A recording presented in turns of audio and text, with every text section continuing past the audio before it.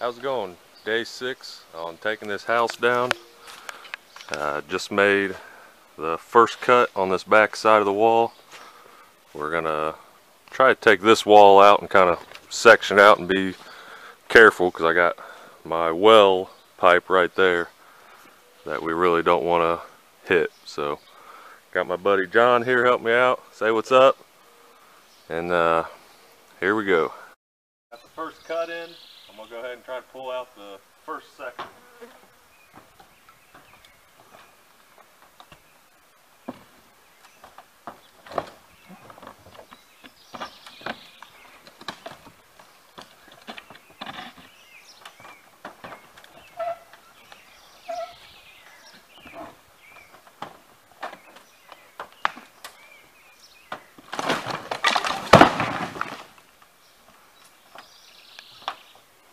Bite. All right, we're moving right along. Check out this, that's a weird shot. Got both these walls down on each side. We just got this back wall standing, leaning on the porch. I got a little nub right there I need to remove from the brick house, but just sitting on the foundation.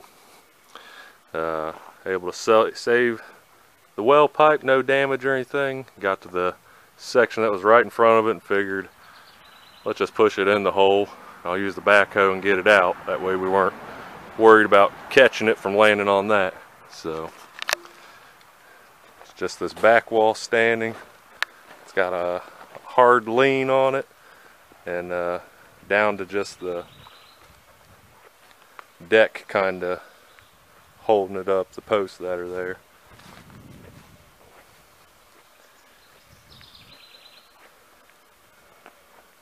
We just dropped what was left of uh, the side wall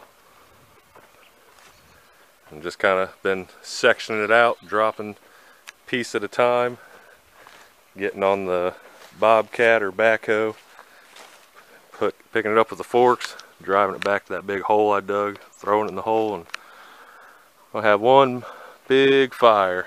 But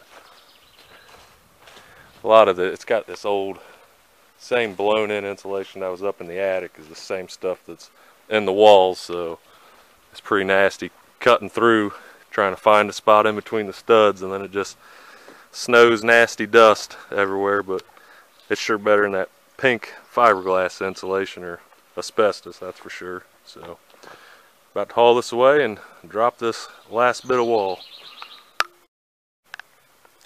Now as we're tearing down the back of this house Check this out, this is crazy. See if I can get this on video.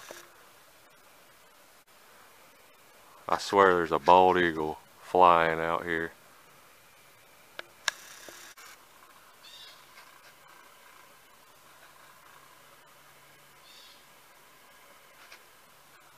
We've gone through stages of weapons.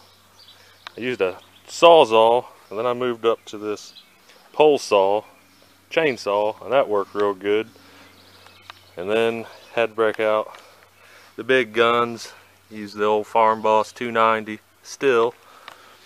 This is not planned but I think it's going to be our best route now. So I got my truck hooked up to it. I read somebody's comment. They said whatever you do just don't hook your truck up to it. But I did it pull the whole barn down. It worked pretty good got everything disconnected and uh, I think it's best to just get it on the ground and deal with it than have it squish one of us. So uh, here we go.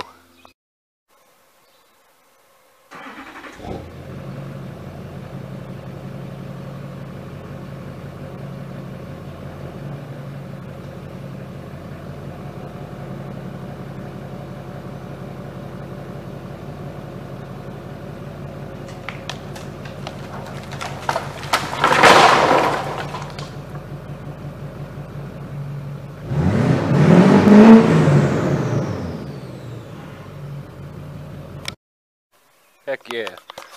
Me and my buddy John, we're a good team. We uh, we used to work a factory job together for many years, and we'd always have to do sketchy stuff together and uh, put each other's fingers on the line and gotta have good trust in each, each other to do some good teamwork. So definitely appreciate his help. But got this all dropped down. Part of the foundation there broke, but if you look down there, it's got a hard hook there where this foundation was pretty, pretty bad. So got a bunch of cleanup here to do. And I think this is pretty wild. Just realized this on this porch. Once we got this wall down here, you look down in here, they built this foundation wall, but it's hollow underneath this concrete where I don't know what's in there, but it's a big hollow hole. And me and him were just saying, surely somebody put like a note or something before they put this pad on here. So that's going to be interesting to see. But we got a lot to clean up. And uh, on another day, it'll be foundation work, clearing that up. But everybody's got all our fingers and toes so far. Look at that, ain't that a totally different view? Wow.